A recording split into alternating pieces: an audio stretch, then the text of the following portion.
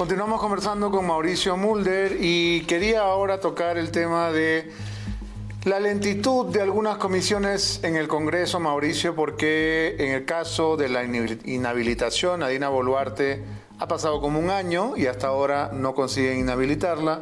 Y en el caso de la eh, acusación constitucional por traición a la patria a Pedro Castillo, pues también pareciera, pareciera estar demorando demasiado. La presidenta de la subcomisión de acusaciones constitucionales, la congresista Lady Camones, ha anunciado que este lunes se va a eh, sustentar el tema de la acusación constitucional. Eh, pero también en la misma entrevista a RPP hace cosa de una hora, ha dicho que para procesar la denuncia que ha presentado la fiscal de la Nación, habría que cambiar el artículo 117 en la Constitución. Hay que entender que todo en la vida cambia, dice, lo que hace 20 años no ocurría, hoy está ocurriendo y quizás sea el momento de pensar en modificar la Constitución. Eh, quisiera un comentario sobre ambas cosas, sobre la lentitud, ¿no? Y sobre si ves posible que esta acusación del Ministerio Público llegue a buen puerto. Eh, yo creo que no va a ser posible que del Congreso salga nada bueno. Eh, primero porque es un Congreso ultra partido, quebrado. Eh, tiene como 17, 18 grupos políticos. Fina cortesía del Tribunal Constitucional, el anterior, que estableció ese criterio para ver si rompían al Fujimorismo y con eso este, obtenían algún tipo de rédito. Y ahora lo que hay son grupos políticos que no son entre, entre, comillas, entre comillas políticos, que obedecen solamente a algún caudillisto o, a un dinero que les dan.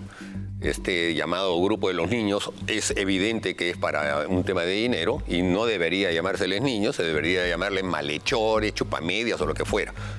Y creo que eh, lo que sucede con el Congreso está, está desafortunadamente neutralizado.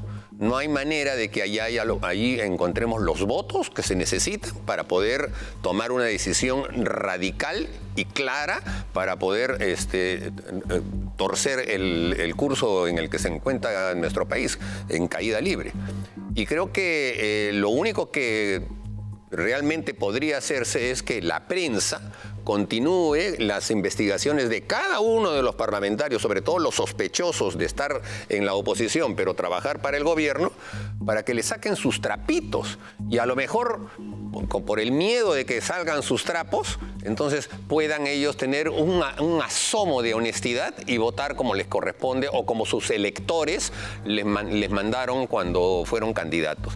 Pero si eso no ocurre, yo no veo que ningún congresista, por ejemplo, de esos niños que tú estás poniendo ahí, tengan la honestidad de decir, sí, devuelvo la plata que me dieron, devuelvo todas las, las que me han dado y, y, voy a votar como mis electores me lo dijeron. No lo van a decir pero es lo único que podría llevar eh, a que el Congreso pueda eh, llevar a buen puerto. Así que no hay que esperar mucho de eso. Yo lamento ser en ese sentido eh, quizá excesivamente realista, porque mucha gente dice, no, pero sí hay que juntar que los votos, que lo votan, que lo sacan. No lo están haciendo, pues, no lo están haciendo y no lo están haciendo porque están recibiendo, esa es la verdad. César Acuña dijo eh, en, una, en un AMPAI que le hicieron un restaurante hace unos días que los 10 votos de APP van para la vacancia. Lo dice sabiendo que la vacancia es imposible entonces. Obviamente. Y además lo dice sabiendo, eh, quizá para que lo escuche el gobierno, ah, este, los 10 votos van a ir para, la vacancia, entonces denle algo más. Y él obviamente va a recibir algo más, pues, ¿no es cierto? O por lo menos también sus, sus allegados. O sea, es un simple, esas son amenazas que se sueltan para que suba la tarifa. Yo no le, yo no le puedo creer al señor este, Acuña que tan veleta ha sido en su vida política, ¿no? Mañana es sábado 5 de noviembre y a las 2 de la tarde los peruanos que estamos hartos de tanta corrupción. Vamos a encontrarnos en el Paseo de los Héroes en Palacio de Justicia, frente a Palacio de Justicia, para la gran eh, marcha que se ha que se ha organizado. ¿Cuáles son las razones que tienen los apristas para marchar y los peruanos en general para hacerlo? Bueno, fundamentalmente eh, luchar contra un gobierno que está destruyendo al país y a la sociedad peruana.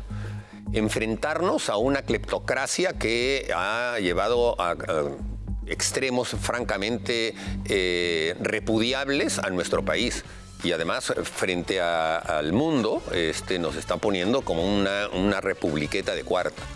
Luchar por, eh, por, una auténtica constitución democrática significa justamente defender incluso lo que pueda decir la actual eh, constitución, que nosotros no avalamos en su momento porque somos partidarios de la constitución del 79, pero no es la discusión. La discusión es que los derechos fundamentales que están establecidos en las constituciones peruanas, en toda la tradición eh, constitucional peruana, se respeten y como no se están respetando, entonces los peruanos tenemos derecho de salir con lo único que tenemos, nuestra voz y nuestro cuerpo caminando por las calles.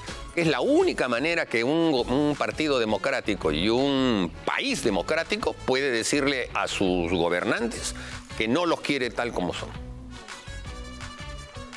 Ojalá mañana sea el día en que se rompa finalmente la apatía, la bulia, la pasividad y los peruanos hagan eco de esa manifestación de ayer que yo he encontrado realmente esperanzadora de los peruanos hartos de la corrupción que estaban en esa luz.